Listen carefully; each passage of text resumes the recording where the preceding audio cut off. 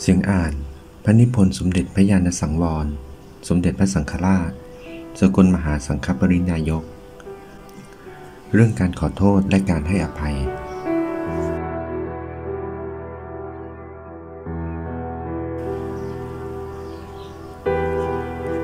การรู้จักขอโทษนั้นเป็นมารยาทอันดีงามสำหรับตัวผู้ทำเอง และเป็นการช่วยระงงับหรือแก้โทสะของผู้ถูกกระทบกระทั่ง ให้เรียบร้อยด้วยดีในทางหนึ่ง หรือจะกล่าวว่า การขอโทษคือการพยายามป้องกัน ไม่ให้มีการผูกเวรกันก็ไม่ผิด เพราะเมื่อผู้หนึ่งทำผิด อีกผู้หนึ่งเกิดโทสะ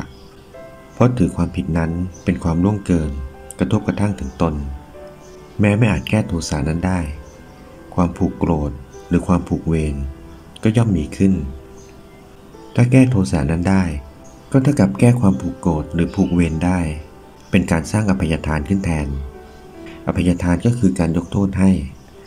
คือการไม่ถือความผิด หรือการร่วมเกินกระทบกระทั่งว่าเป็นโทษ อันอภัยทานนี้เป็นคุณแก่ผู้ให้ ยิ่งกว่าแก่ผู้รับ เช่นเดียวกับทานทั้งหลายเหมือนกัน คืออภัยทานหรือการให้อภัยนี้ เมื่อเกิดขึ้นในใจผู้ใด จะยังจิตใจของผู้นั้นให้ผ่องใส พ้นจากความกุ้มลุมบดบังของโทสะโกรธแล้วหายโกรธเองกับโกรธแล้วหายโกรธเพราะคิดให้อภัยไม่เหมือนกัน โกรธแล้วหายโกรธเองเป็นเรื่องธรรมดา ทุกสิ่งเมื่อเกิดขึ้นแล้วต้องดับ ไม่เป็นการบริหารจิตแต่อย่างไร แต่โกรธแล้วหายโกรธเพราะคิดให้อภัย เป็นการบริหารจิตโดยตรง เป็นการยกระดับจิตให้สูงขึ้น ดีขึ้น มีค่าขึ้น ผู้ดูแลเห็นความสำคัญของจิต จึงควรมีสติทำความเพียร อบรมจิตให้คุ้นเคยต่อการให้อภัยไว้เสมอ เมื่อเกิดโทสะขึ้นในผู้ใด เพราะการปฏิบัติล่วงล้ำข้ามเกิน เพียงใดก็ตาม พยายามมีสติพิจารณาหาทาง ให้อภัยทานเกิดขึ้นในใจให้ได้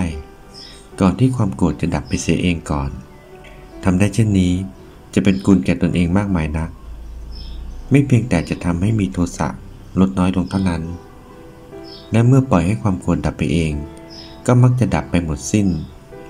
เท่าฐานคือความผูกโกรธมักจะยังเหลืออยู่ และอาจกระพือความโกรธขึ้นอีกในจิตใจ ได้ในโอกาสต่อไป ผู้อบรมจิตให้คุ้นเคยอยู่เสมอกับการให้อภัย แม้แต่ไม่ได้รับการขอเข้ามา ก็ย่อมให้อภัยได้ ในทางตรงกันข้าม ผู้ไม่เคยอบรมจิต ให้คุ้นเคยกับการให้อภัยเลย โกรธแล้วก็ให้หายเอง แม้ได้รับการขอขมาโทษ ก็อาจจะไม่ให้อภัยได้ เป็นเรื่องของการไม่ฝึกใจให้เคยชิน อันใจนั้นฝึกได้ไม่ใช่ฝึกไม่ได้ ฝึกอย่างใดก็จะเป็นอย่างนั้น ฝึกให้ดีก็จะดี ฝึกให้ร้ายก็จะร้าย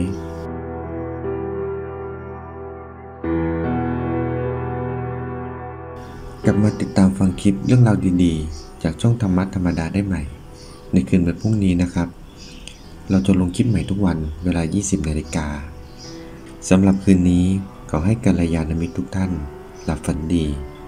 พบกับความสุขความเจริญทำการสิ่งใดก็ขอให้สิ่งนั้นสำเร็จสมความปรารถนา ขอให้อำนาจแห่งพุทธธรรม จงปกป้องรักษาทุกท่านเถิด